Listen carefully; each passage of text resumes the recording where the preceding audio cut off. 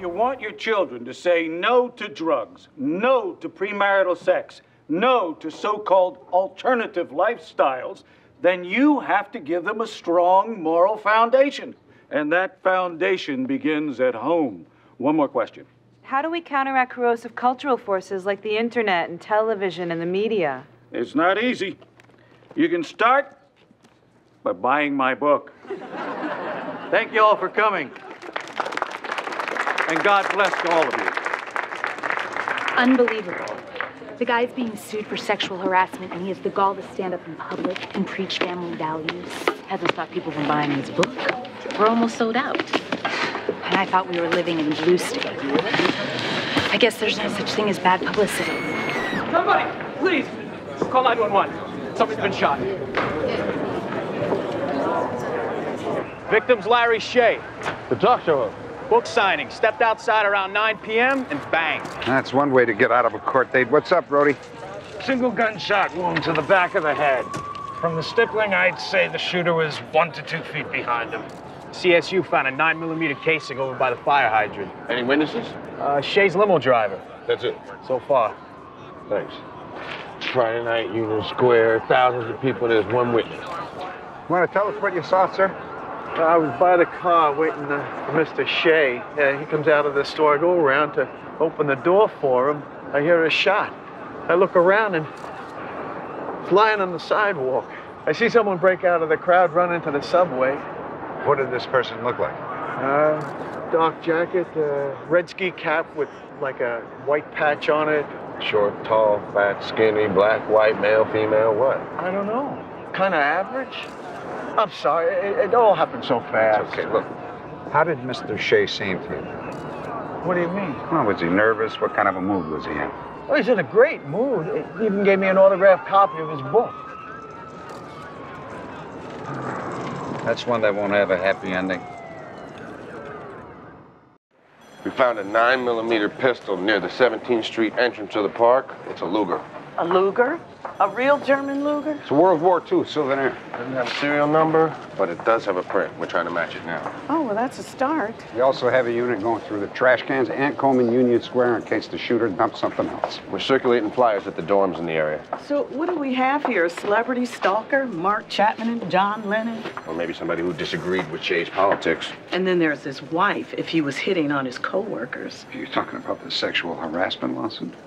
You think the woman's lying? Well, I think he's an easy target. High profile, successful TV show, and rolling and moving. I might sympathize if he wasn't on TV every night telling women their places in the kitchen. Preaching them old school politics. Yeah, like Neanderthal. Let's start with the wife, work from there. Get out of here.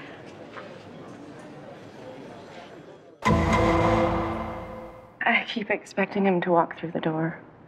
Oh, well, we're really sorry to intrude like this, Mrs. Shea. I understand. Please sit. So, uh, this is just for the record, but we need to know where you were last night. I took my son to Barney's to buy him some clothes. I can't believe we were out shopping. Well, Larry was bleeding to death on some sidewalk. Mom? I'm going out for a walk. Okay, honey. I'll see you later. Will worshipped his stepfather. Larry adopted Will when he was 10. He treated him like his own.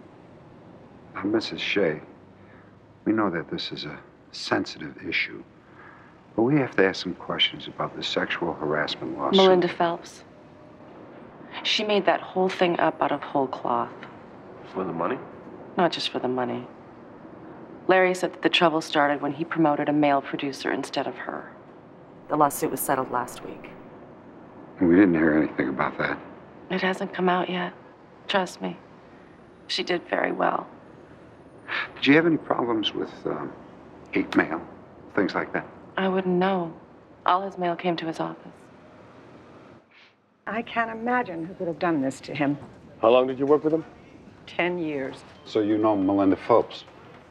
Melinda worked here for two years. Talented woman. What happened between her and Larry Shea? Larry was from a different generation. He grew up in a different time.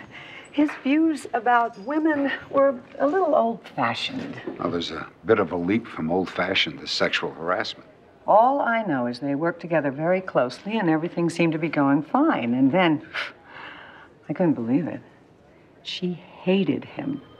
How did Mr. Shea react when he found out she was filing charges against him? I've never seen him so angry. He accused her of extortion. We heard he settled. The network settled. What do you mean? It was their money. They gave it to him so it wouldn't look like they were giving in to threats. Sets a bad precedent. How much was it?